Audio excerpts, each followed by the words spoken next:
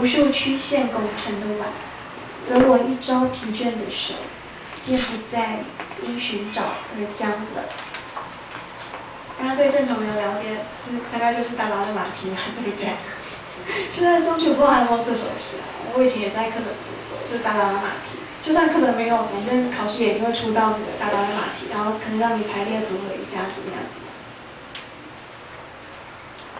郑愁予的诗，郑愁予早期的诗就是有那种流浪者情怀的浪漫的情调，那这个东西就是非常的迷人。那他晚期的诗其实没有他早期的诗那么那么那么迷人，因为他晚期的诗，啊，我们在这里，我们不是郑愁予专题，我们回到这首《命运》上面。他在写什么呢？这是他年轻时期的诗。我不能要求直下的两个骰子是一颗红心，或者，或者这是个错字，或者去掉草字头，或者是十三个黑色的马点。前面这一段讲的是什么？其实现在是很好玩，就是，嗯，现在是现在是有一个简单的解码的过程啊。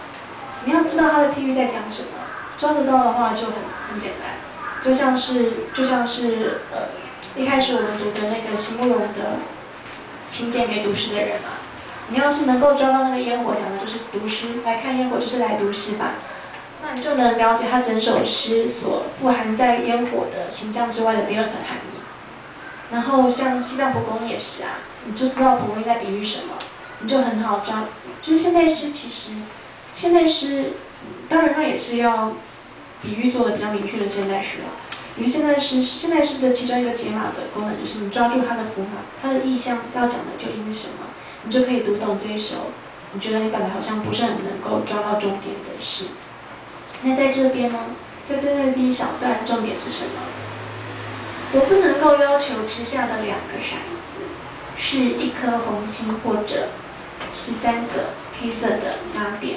两个骰子在丢什么？这个就是那个十八把，然后，对，两个骰子在碗里面丢嘛，就是十八把。那你们想想看哦，重点在哪里？你丢不丢得出一颗红心，或者十三个黑色的麻点？你丢不丢出十三个黑色麻点或一颗红心？做不到，除非你是周润发或者是周星驰，你可以把两个猜，啊对，两个猜，好像赵文演过，对不对？那个什么放某一代的赌神嘛，就是他丢丢，然后让他猜最后是一点，因为三个骰子粘在一起，最上面的是红心。可是那正常正常的状况是不可能出现这种状况，而且在座的各位都不是周润发，也不是周星驰，所以你是没有办法丢出一个红点的。那即使强如周润发，强如周星驰，你也没有办法丢出，你其实你也没有办法丢出十三个黑色的嘛点，对不对？因为最大的点数就是十二点嘛。最小的点数是二，所以我这两颗骰子，我再怎么丢，我都丢不到一颗红心，或者是三个黑色的嘛。那它比喻的是什么呢？你们可以想，就是很简单的，你就要先抓到那个一颗红心或者是三个黑点，都是不可能出现的情况。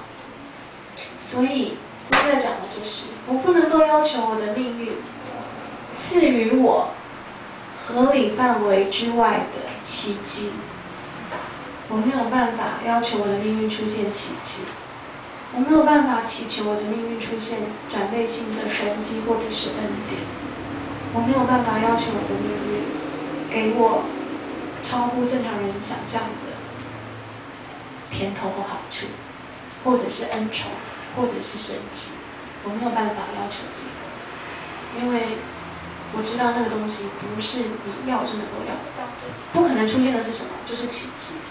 所以我不能够要求我的骰子丢出这个点数，就代表我不能要求我的生命会出现奇迹。我也不能够依赖会有什么奇迹，就浪子回头了，就就会就会就会要就是就是吸毒犯变善人了，怎么样怎么样？也许有，可是我不能要求这种事情发生在我的身上。你不能要求，你不能要求世界明天就如你所愿。你不能要求命运如你所想的赐予你那些现在的你够不到的那种奇异的恩典，没有办法。只要他不，然后只要他不滚出那只无数曲线，人生的曲线所构成的了。可我一招疲倦的手，便不再因寻找而僵了。可是只要这个郑愁予写这首诗的是他年轻时代，其实非常的具有浪子性格跟赌徒性格的。那那又怎么样呢？我的人生没有办法有出乎意料的好运，没有办法有奇迹，没有办法突然突然突然就有了一个家，突然就就就中了乐透，怎么样？那是不可能的。可是那我就这样浪荡的过吧，无所谓啊。只要我的命运还掌握在自己的手里，只要我的道路还是自己选择的，只要我还能够，只要我所盯我所凝视的两颗骰子还滚还落在我的碗里。只要我还能够清楚的看到自己生活的样子，我还能够清楚的看到我手中的骰子在我的手下继续丢出来，我还知道自己选择的路在哪里，是什么，我的命运还掌握在自己手中，那我就甘愿这样继续过下去，即使我不能要求更好的东西，但是只要我的命运还掌握在我的手里，是我自己选择的路。我就可以不用为了寻找生命的意义而放手将了。这场命运讲的就是这样。只要这个骰子还能够在我的手里，是我继续丢着的。虽然我没有办法要求那些更好的事物、更美满的东西，可是只要我能够双眼还盯着它，你们就是那个赌徒性格，我还能够盯得住这个骰子，我就可以继续赌下去。就是这样，我就甘愿继续照这样的方式继续活下去，而且不会迷失自我。不会迷失我所要的东西，因为他所要的就是让命运掌握在自己的手里。虽然掌握在自己手里的命运，也不见得是比较美好的命运。虽然掌握在自己手里的选择，也不见得是最聪明的选择，也不见得是特别好的东西，也不见得会，也绝对不可能替你带来什么破天荒的奇迹。可是没关系，这是我选择的，我就是要这样继续走下去。是一个很任性的浪子性格加赌徒性格的东西，可是读起来蛮过瘾的，我很喜欢郑愁予的这一首诗，我觉得比什么，比什么，他的生命情味其实比浪漫完就没有 了的那个达拉的马蹄还要来的深刻很多。然后解题的关键就在你要读出什么是一颗红心跟十三个麻辫所象征的，就是不属于现实的奇迹，不属于意料之意料之外的好运，你就配合着他的题目命运去。读懂这一首诗，然后下面我后面就列着，我自己本来就想说，我大概讲到这这二页差不多了，第三页本来就是多一，好，因为因为嗯，我稍微抓时间，大概是这样，所以我列在前两页都是很短的东西，我也把我自己的诗里面挑一些非常短的列在这里。第一首是纸币，命运已被是我沉默不语，我虽将全脸全身向着他。就是命运已被是我沉默不语。什么叫做命运已被是我沉默不语？已被是我就是代表不沟通跟拒绝。我现在面向了大家，因为我们在对谈，我们在讲话。可是我如果转过去，就是不理你了，就是不听不听，不你别说，就是这是一个游戏的人来比啊，那个就是。你看琼瑶剧嘛，吵架的时候，女主角只要转过去就是我不听不听，你不要再说了，就是我不跟你沟通了。所以以被以被世人代表什么？就是总统总统会把门关起来，不管外面抗议的人，抗议的人就是以被以被世人把门关起来，所代表的是什么？就是拒绝沟通，拒绝回应，拒绝看见。然后，嗯。有时候你会发现，你要的东西没有办法要到手，你希望的情况没有办法发生，你会觉得命运好像不理你了。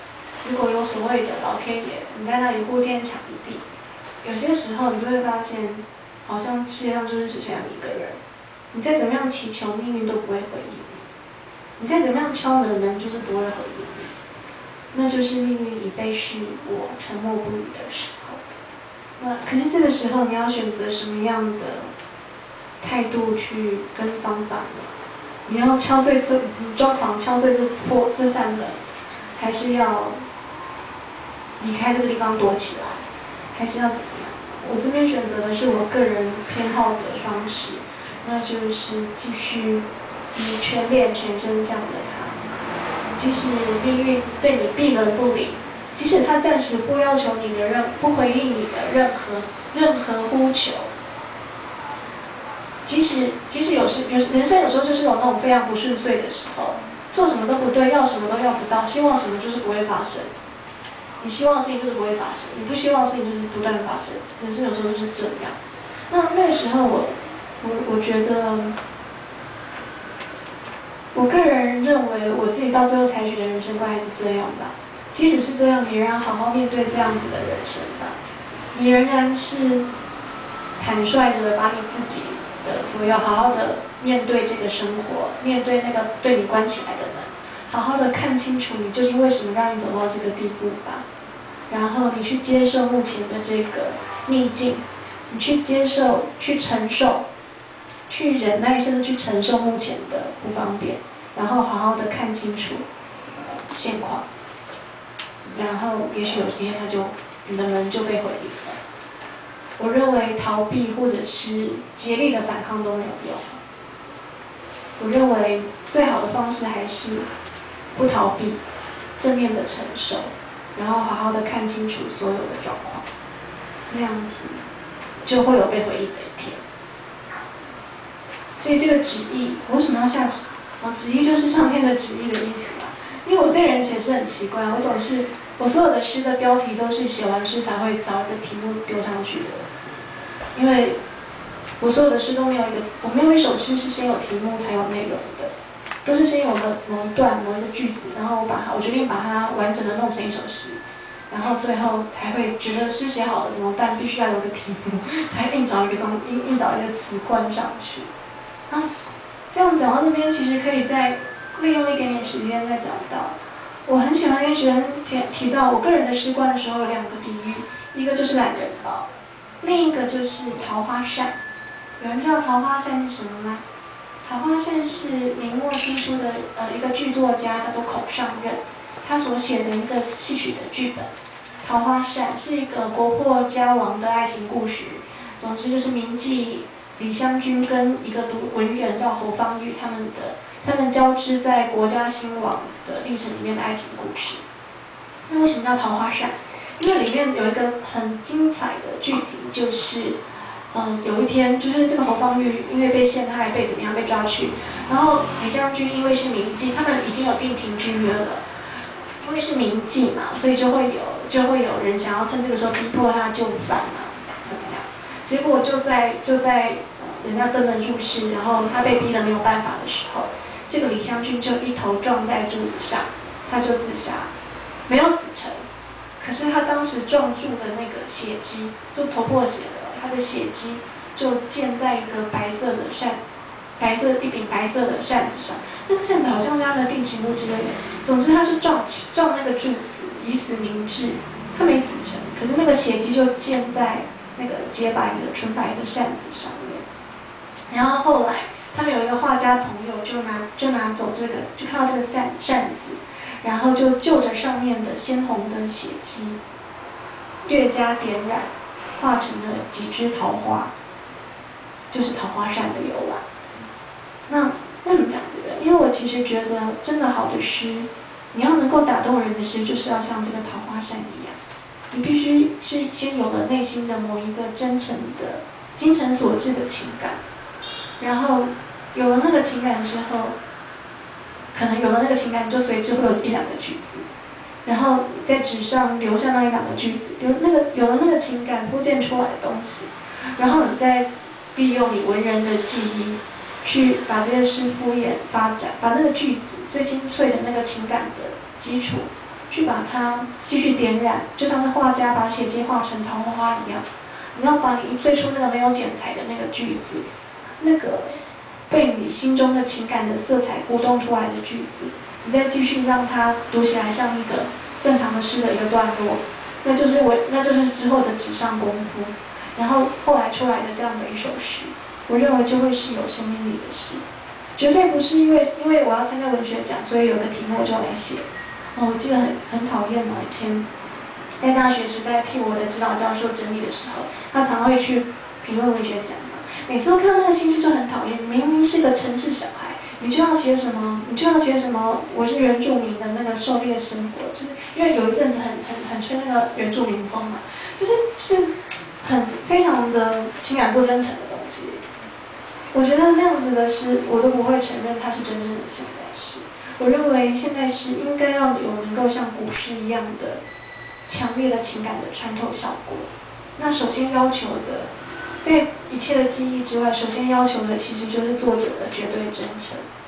这这一点，就像最早的那个写经，就是，嗯，不经过任何修饰跟点染的就泼溅上去，那样子的作品才会是真正有所谓的力与美的作品。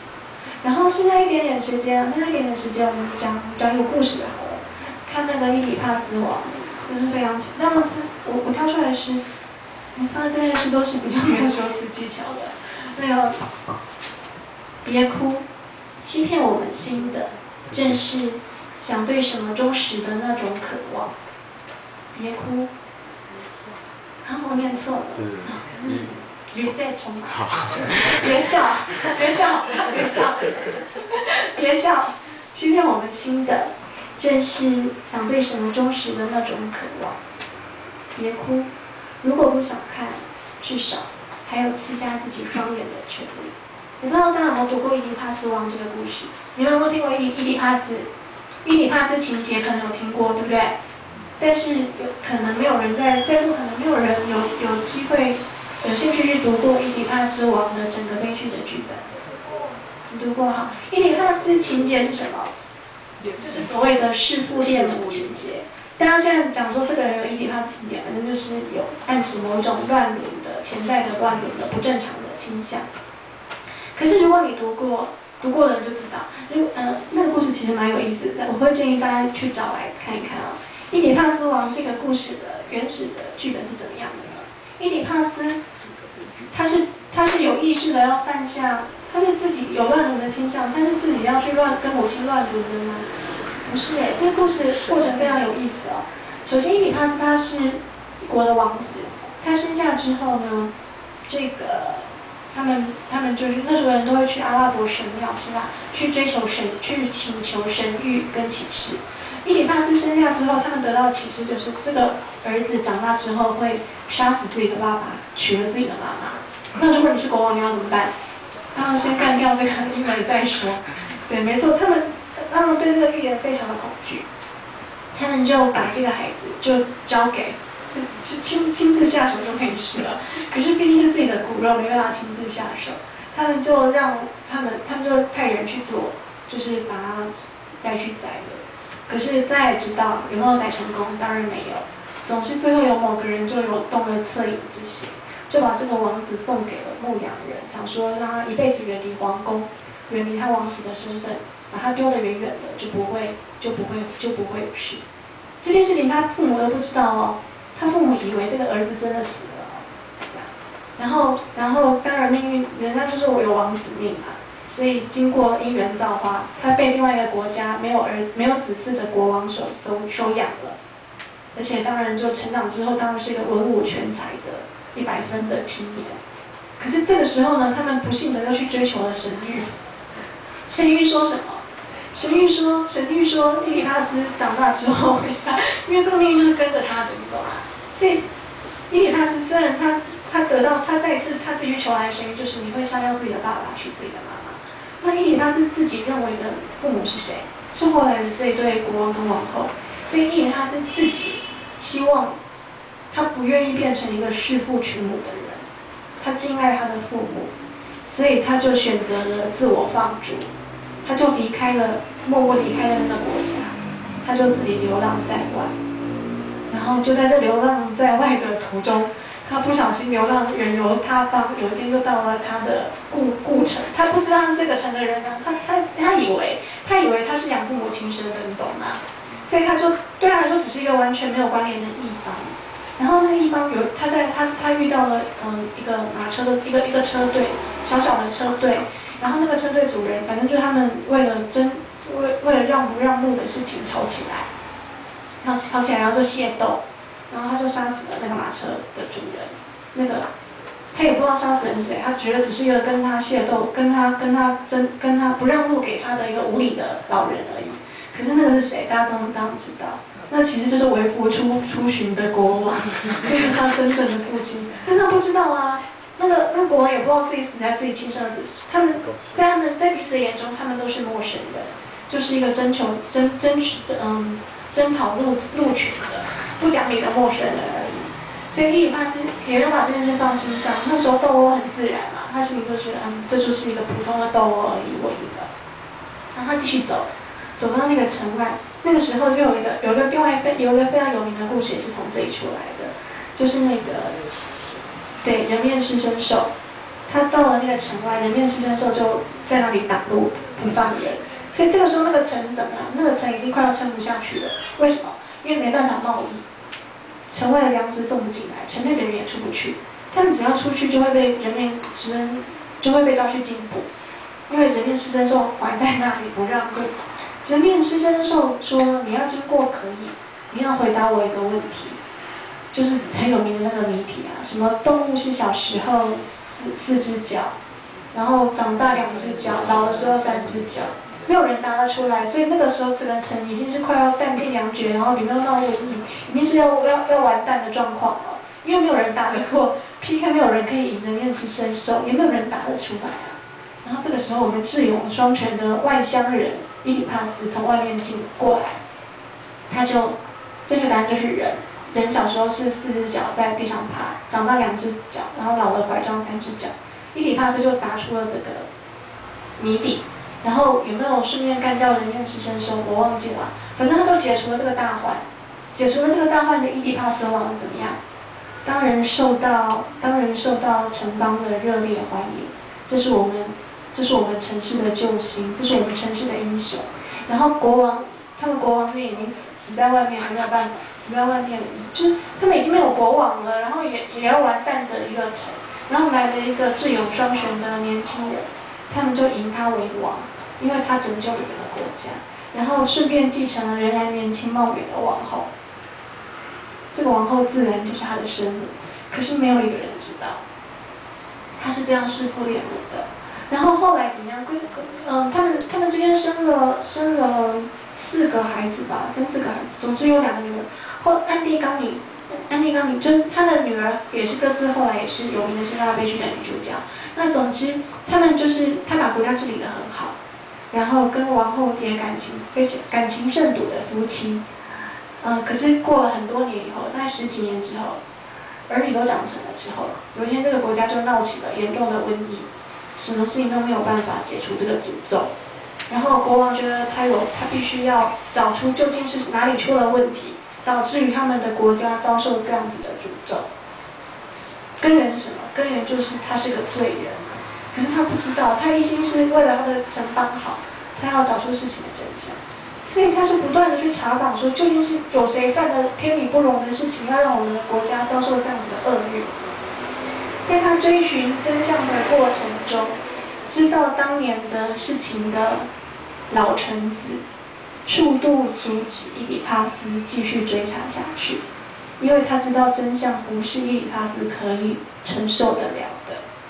可是伊里帕斯说，不管真相是什么，他需要找出来，他需要面对他，他需要他爱这个国家，然后他也觉得有什么有什么真相，真相本来就是需要发明的，需要去去去破解的。所以其实他在走向毁灭的毁灭的结局之前，有人阻止他哦，但是他不接受阻止，他个他认为他必须要找出找出事情的真相，事情的真相最后。真相大明的时候，那个王后，也就是他的他的母亲跟他的妻子，早他一步猜到了事情的真相，然后就就就真的是同一幕的事情嘛，就是有人继事情就继续讲了，讲到可能讲到一半的时候，那个母亲听到那个儿子没有死，他就知道后面是怎么样的嘛，他就知道是当初弑父弑父娶母的诅咒的命运应验了，所以他们国家才会遭受严重的。皇帝的这种诅咒厄运，所以他的母亲就脸色苍白的离开，他的妻子苍脸色苍白的离开，然后干嘛？就回房间上吊自杀了。然后伊里帕斯知道知道事情之后，他冲进房间，他看到的就是他的妻子、他的母亲就吊死在那里。然后伊里帕斯做了什么事情？他就自己拔出短刀，把自己的双眼刺瞎，然后自我放逐，离开了这个国家，就是四处流浪，非常穷困的四处流浪。就是这，这是整个伊里帕斯的悲剧的始末。你可以看到的是，其实我们说伊里帕斯现在讲的是某种变态的倾向，就是有恋母倾向、恋母情节。可是伊里帕斯。你可以在这个故事里面，他的作为从头到尾，他有没有做错事？没有，他的所作所为从头到尾都是合乎正义的，都是合乎正义的。可是你有没有发现，他们合乎正义做的一切追求，都把他们继续推向真相揭穿的那个毁灭的结局？他对真相的某某每一步追查，他对于他们这他们为了抗拒这个预言所做的一切努力。反过来都变成使得预言真正发生的一个结局。如果当初他的生父生母没有把伊底帕斯想要干掉他或送走，而是把他养大，伊底帕斯敢不敢做这种事？不会做。啊然后伊底帕斯知道了他有这个命运之后，如果他没有离开他的养父母的国家，他会不会后来真的弑父？弑父就是弑父娶母？也不会。所以你会发现，人们在这个悲剧里面所做的一切努力。反而都是让这个可怕的预言真正实现的，都加速了它真正实现的过程。然后以及最后的伊底帕斯他自己主动的去追求了事件的真相，也造成了他这件事情如果没有揭穿，可能至少他至少他母亲不会去上吊，他就不会自自瞎双眼，他们就不会成为人人唾弃的这样子的一个罪人。可是最后这种毁灭性的悲剧是他们自己来的。可是，最吊诡的是，他们在这个故事里面做的一切努力、跟动作、跟步骤，都是为了阻止悲剧的发生。反而，这所有的努力都引导了悲剧最终的实现。所以，所以我想到的第一段，不要笑，欺骗欺骗我们的心的，就是你想要对什么忠实的那种渴望。对这故事里面的人来说，他们想要对自己所信奉的道德真理真实啊。他们想要忠实，我不想要做一个弑父娶母的人，所以我远离这个养父母的国家。我不想要被弑父娶母，所以我把我的儿子先杀死，免得他变成一个弑父娶母的罪人，比比死了活着比死了更惨。每个人做的都是他们对他们心中所奉行的事情的道理忠实，可是反而这些事情最后都欺骗了他们，使得他们最后仍然承受了命运的无情打击。有时候就是这样，你自以为是的真相，并不是事情的真相。你自以为是，你看到的，你看到的，你所掌握的条件，并不是事情所有的局面。欺骗我们的心的，往往是你想要替对什么忠实的那种渴望。我一心为了我的儿子好，所以我什么都给他最好的，然后补最好的习，然后然后让他学最好的琴，然后什么什么。可是长大了，然后让让他照我的我的安排去走，然后去念了台大医科。可是长大了以后，有一天儿子跟我说：“爸爸，我恨你，因为所有的一切都不是我要的。”我想要当个画家，我一直想要当个画家。可是你让我，你让我现在是个被告的外科医生。有一天，儿子告诉你说我恨你，你要你给我的一切都是你都是你所要的，我只是屈服，我从来没有实现过我想要的。那在这里，其实对于做父亲的人来说，你给的我，我认为我给的就是一切最好的。我认为你走这条路就是最顺遂的人生。就是对我中内心的内心想内心，我我对于我知道的世界，忠实的去遵循我的原则而行动。可是这个东西是你要的吗？人往往看不到那个第二层，就像是悲剧里面的人看不到世间的全局一样。又或者是丈夫一心一意的在外面加班，主科，主科，呃，我的大学同学现在很多都是主科的在在工程师，就是说。努力的在这里加班，为什么？那那在那里摧残自己的肝，就是想要早早的、早早的买房子、买车、买房，养他太太呀，养他女朋友啊。可是最后他发现，他太太居然跟别人跑了。为什么？因为妻子跟他说：“你都没有空陪我，你都没有空理我啊。”可是我为什么要这没有空理你、没有空陪你呢？就是为了给你最好的生更好的生活。所以人人往往是这样欺骗我们心的。往往就是你想要对什么忠实的那种渴望，可是因为我们像悲剧伊里帕斯人一样，我们没有办法清楚的看到其他人要的是什么，我们只看到自己心里知道的事情，所以我们所做的，我们的一切认为是好的、善意的所作所为，也许反而导致了某一些从来做不是我们想要的结局。可是别哭，如果不想看，至少还有戳瞎自己。双眼的权利。伊底帕斯王这个故事在希腊悲剧里面同同样被视为是一种人文精神的开端。为什么？因为你可以发现哦，这个命运命运是神给的，我们不能违抗。伊底帕斯他们，我们即使这么努力要逃避，仍然迎来了弑父娶母的结结局。可是最后伊底帕斯的自他的他的自我制裁。完全是出自于主动，他主动的选择刺瞎自己的双眼，主动的选择自我放逐，来为自己所无意之中犯下的罪而赎罪。至少命运是怎么样给我们的，我们不能选择，可是我们可以选择自己要用什么方式去面对。这也许是我们，我们不能选择命运啊，可是我们可以选择自己要去面对的方式。所以在伊底帕斯里面，他最后自己自己选择，他不是被人民所处死哦，也不是被宙斯人类所劈死哦，他是自己选择自己刺瞎自自己的眼睛，然后自我放逐。所以同时告诉我们，也许命运有时候会反过来欺骗我们吧。也许有时候你以为的事情并不是事情的真相，也许有时候你的善意反而带来不可承受的后果。也许命运不是能够按照我们想要的样子去发动去。可是你至少，至少我们有自己在结局，我们面对事情的结局，我们至少还能够保有一个任何人都夺不走的权利，就是你可以自己决定你要怎么面对。像是伊里帕斯自己选择了自瞎双眼，自我放逐。所以，我觉得这是那个我很喜欢那个故事，所以我写了这首短诗。然后我读到这首故这个这个剧本的，我认为最重要的东西写出来。然后，希望结束之前讲的故事总是比较愉快，所以同一时就结束在这个地方。好，我就谢谢大家今天来这里听我胡说八道。大家有没有很陶醉？有，有没有很陶醉？有，有。好像后面的故事比现代诗更容易了解，对不对？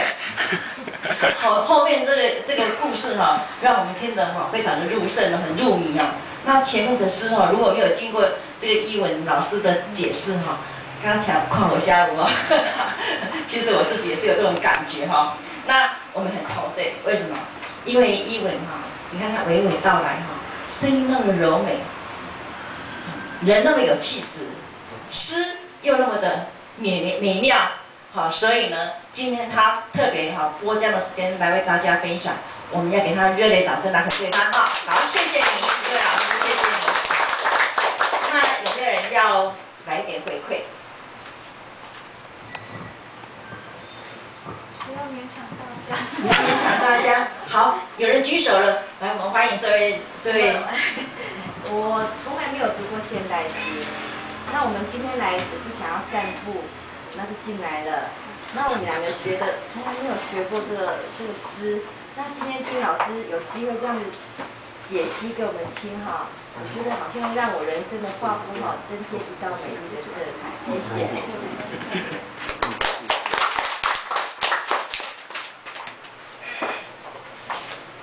还有吗？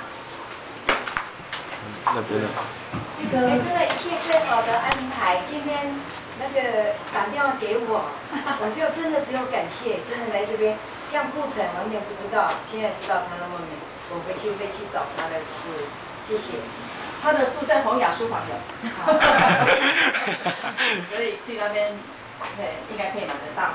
好，没有带来哈，今天没有。好，还有吗？还有要回馈的吗？我们这里好像有一个要回馈吗？书啊，嘿，还有你也可以。老师刚刚这样子听诗，然后听故事下来。觉得心情很闷欸，好沉重哦。有没有办法借诗的方式来疏解一下这种情绪？那你就不要，你就要去用它寻找光明啊！你就不能只读到前半部啊！你要，你要，你要，呃，你要接收到后半部的讯息。其实虽然是黑夜给了我们黑色的眼睛，真的是有时候对他有时候透露出一些人生中不美满的地方。可是我们还是可以要记得，还是可以用它寻找光。我说一句话，在我啊，因为我是身体，每天都每分都一直痛。刚才你说秘密嘛，虽然很黑暗，可是我今天听你这样讲，至少在我的接受我的呃心里的疼痛，因为这一段日子我真的因为身体很多痛，然后越来越不方便，真的有点。真你所说的，为什么人的生命会，我好像什么都没有。刚才听你这样子讲说，生命还是有希望，只要你接受你身体上的痛，真的，在痛中体会到说生命是有力量，只要你愿意可以熬过去，也可以找到生命真正有意义，就是自己要过什么日子，用什么心态。觉得蛮好。特别给这位大姐个鼓励哈，她是坐着前面那也谢谢他们刚才帮然后我进来。因为因为那个车子没办法进来哈，所以是由我们这个阿辉 孔勇有力的阿辉抱着他进来的，所以我们要阿辉辛苦了。今天是接接触了，真的，真是接触人群。最好，我们很欢迎你经常过来，阿辉在这边，加油 OK OK，这就是四的力量与美哈，冠军之身。觉得哈，你像这个同学他的我有同学，但是，比如说你手势如果赋予他那个音符哈，把它唱出来，就会比较那个悲悲伤的感觉会比较可惜我不会唱。好像还有人要回馈哦。好我去年刚去过西藏，所以对刚才老师讲的那个西藏的那个情况，我觉得很有感触。那因为以前只会念那个参加加措的那个，就是读过他的诗，那今天很高兴说还知道有一些其他的诗。那我想问一下陈老师说，你可不可以推荐现在我们台湾那个文文坛上比较，就是说对现代诗写的一些比较好的一些作家，可以推荐一下？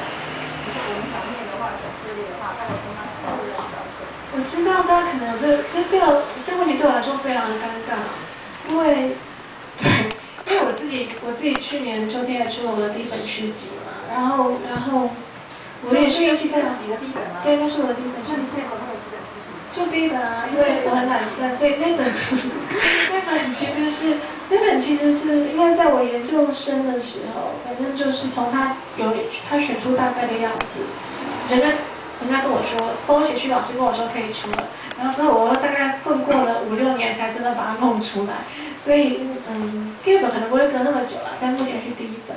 然后叫我推荐诗人比较尴尬的这一点就是，嗯，有一些诗人其实是他他的诗，比如说像我个人很喜欢周梦蝶，那对，但是他的诗可能对有些人来说是需要进一步解释，你才能够完全抓到他的意志的。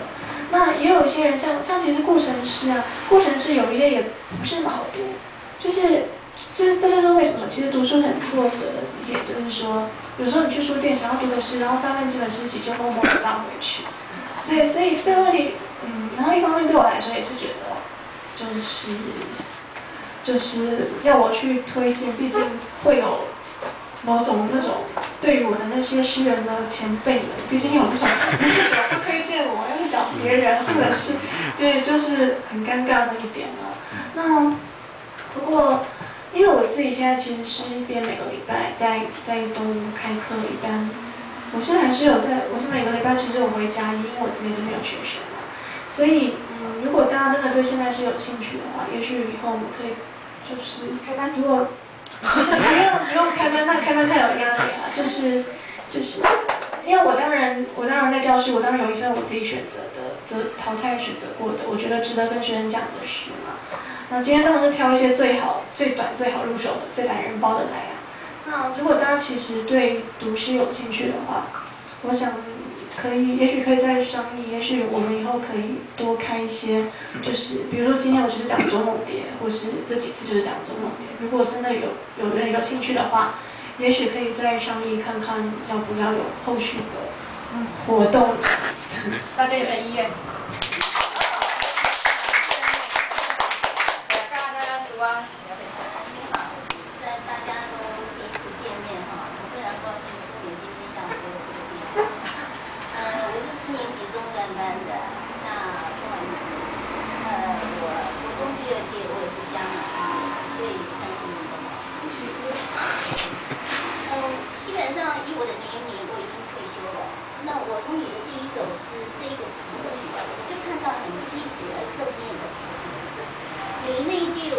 全脸全身相的吗？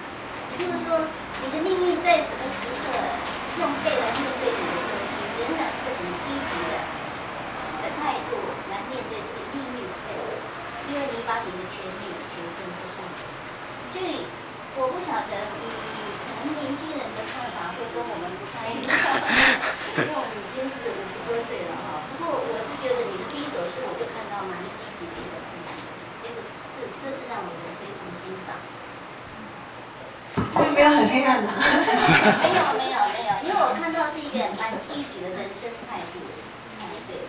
然后像那个西藏蒲公英这个第一句圆满的植物，我第一个感觉是觉得说，它第三第三句的那个当冰雹来临的时候，当当冰雹来临的时候，表示冰雹也可以不来临啊、对不对？所以当冰雹不来临的时候，我这个人生可能是一个圆满的状态。那那是一个假设状态，所以我觉得它这个西藏蒲公英，呃，可能不需要被后边的那个所谓陌生的草地漫无漫漫无目的的漂泊，因为人生也许你在漂泊的时候，你会感受到你有不同的经历。那当到你达到一个岁数的时候，你会觉得你的这个经历是你所喜欢的。对，其实这件事情就是，我想大家可能可能都会，你曾经觉得某些事情是毫无道理的，可是你过了很多年以后，你回去看看，你会发现那件事情其实给你的并不只是折磨跟挫折，你会发现你因为这个事情，你可能多走很多冤枉路，可是你到你那时候也觉得这些都都是冤枉路，可是也许你的人生当成熟到某个地步以后，你会去看看，你会发现从那里面你学到的东西是除非如此，否则你就不会得到的。我觉得就就像是编织啊，你不知道知道最后这块花纹会成为什么样的东西。你本来觉得这是污渍，可是也许编织到最后，它会是一个最重点的画龙点睛的那个纹路。所以我觉得其实是就是这种感觉啦，对。我还我相信啊，你说今天能够参与这个这个活动，今年以后就常给我电话。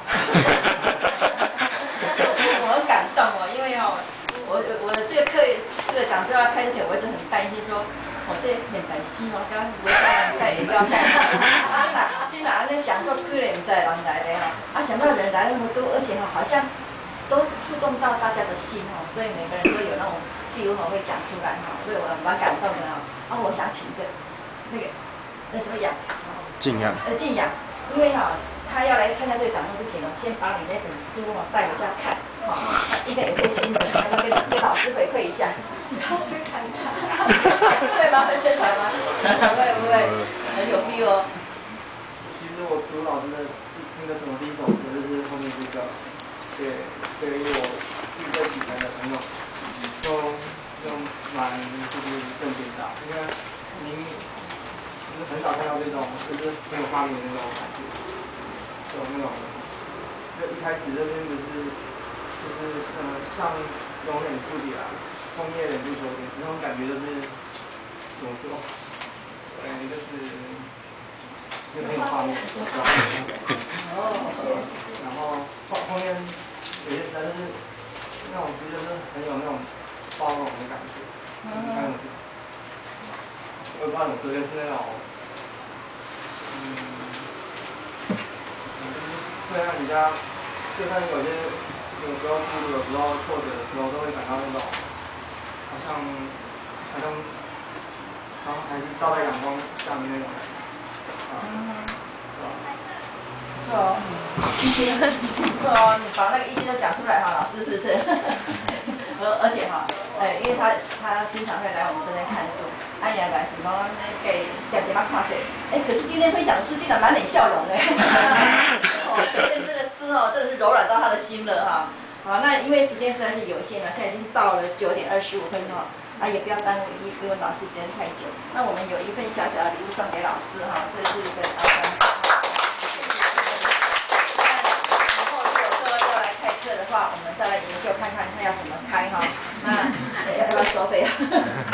当然不用啊，啊这么好不用啊，就是因为，嗯，其实像我自己现在就是一方，但我本来在台北有其他工作机会啦，可是我现在就选择一方面兼台北的课，一方面回来嘉义意收一些学生。在座有一个有一个家伙是我的学生，那其实是就是这边这一位小朋友，他今年上交通科学班的，他是我本来教了三年的学生。那其实我我自己这样选择，一方面，因为我觉得嗯，只能在台北讲师是一件很遗憾的事情。我觉得台北资源太过剩了，台北资源太过剩了，然后有机会呢回来回来，因为我以前上家里的时候，其实我会觉得为什么功课上那么无聊，就是哎，我以前不好意思啊，我以前就是家里自由班，我那时候真的觉得是脑脑袋不好的，然后念文字，就是就是那时候也是偏见。可是我自己后来上了台大，然后当我真的接触到很好的中文系教授，他让我知道中文中文课上起来是像这样子的时候，那我就会觉得说，如果我能够早点听到这些课，可能那时大学时候的我就又完全不一样的一个人。对，所以我会觉得有机会能够回来加以讲课，就是一个种形式，其实我会还蛮珍惜这样子的状态。对，所以如果要在这边讲座，当然是自带，也不用说开班很严肃，就开班就觉得好像我有什么功课的感觉，就是也是，如果真的要在这里继续讲，是大概也是像这种座谈的形式，大家想到没事要来一下就来一下就好，对，这样大家都比较轻松愉快，我也比较轻松愉快。那我们今天还有还有其他事情要跟老师回馈嘛？我讲一下好了。其其实我蛮感谢译文老师的，这是我儿子。对，那这三年来，呃，虽然吧虽然我们我们两个都是老师，也是教文科，可是呃嗯，我觉得译文老师带着他有有有拓展他在语文在国文上面的视野，所以其实真的是蛮感谢他的。那我今天其实本来只是载他来，因为家里还有个小小朋友那样子，所以我就跑来跑去。可是我一听我就坐住了，然后所以在前面几首诗，其实英文老师在讲的时候，我眼泪就忍不住就，尤其在尤其在讲那个嗯嗯那位作家的名字，那个啊对对，丹真汪清，他那个对那两首。就马上就很触动，很触动那样。哎，那后来是因为要，哎，他要回去接他，哎，所以我很感谢，后面还是听到了一点点。哦，好，谢谢。谢谢谢谢。所以啊，大家真的要经常来听啊，诗的力量让一个人 会哭，所以一定要来哈。好。之后会上吗？OK，那我们今天就到这里，好，谢谢大家。好，谢谢大家。